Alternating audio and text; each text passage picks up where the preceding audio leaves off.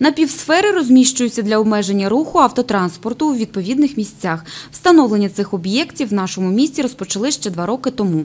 Перші напівсфери з'явилися в центрі біля готелю Коростень. Е, Перші напівсфери ми купували два роки назад, це було 250 гривень. Сьогодні вони коштують там 320.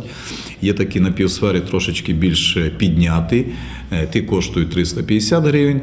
Але це все одно порівнянні з е, заборчиками, то е, вони набагато дешевше і вони не дають можливості проїхати транспорту, але дають можливості вільно пересуватися е, пішоходам.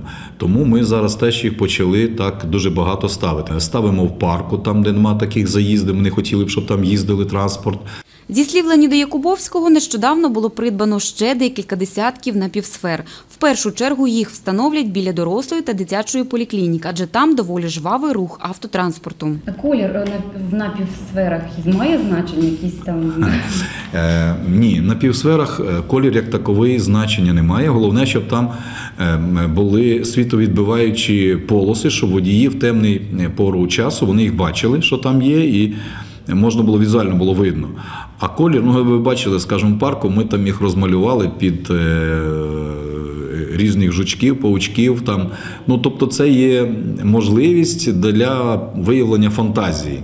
Доки дозволятиме осіння погода, роботи по встановленню напівсфер в нашому місті триватимуть і надалі.